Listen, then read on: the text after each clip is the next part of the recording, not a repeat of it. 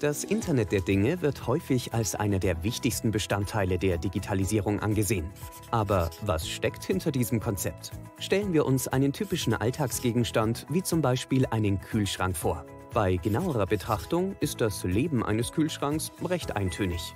Wenn wir ihn jedoch mit dem Internet verbinden, kann er plötzlich mit anderen Gegenständen oder Menschen kommunizieren.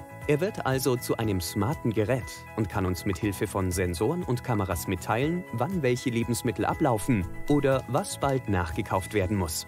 Genau das ist das Grundkonzept des Internets der Dinge. Es ist also eine neue Dimension des Internets aus verschiedenen Objekten mit eindeutiger Identität, die miteinander sprechen, Daten austauschen und kooperieren.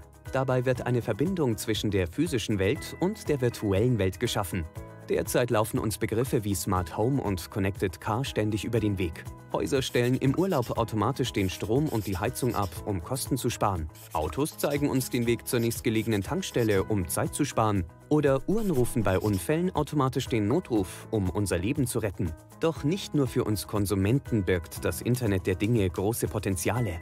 Im industriellen Internet der Dinge sind es keine Alltagsgegenstände, die verbunden werden, sondern Maschinen, Maschinenteile, Produkte bis hin zum gesamten Inventar. Das industrielle Internet der Dinge richtet also den Fokus auf den Wertschöpfungsprozess in produzierenden Unternehmen.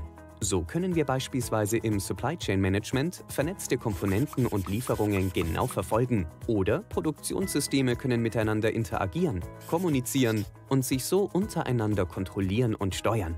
Durch verbundene Maschinenteile können Wartungsarbeiten vorhergesagt werden, bevor die Maschine ausfällt. Und durch verbundene Paletten und Container die Lagerprozesse teilweise automatisiert werden. Fassen wir kurz zusammen. Hinter dem Internet der Dinge verbirgt sich also ein recht einfaches Prinzip, nämlich Dinge untereinander zu vernetzen und so aufeinander abzustimmen. Natürlich gibt es einige technische und wirtschaftliche Herausforderungen, aber angesichts der enormen Potenziale dieses Konzepts können wir damit rechnen, dass die Zahl vernetzter Objekte noch rasanter steigen wird, als sie es ohnehin bereits tut.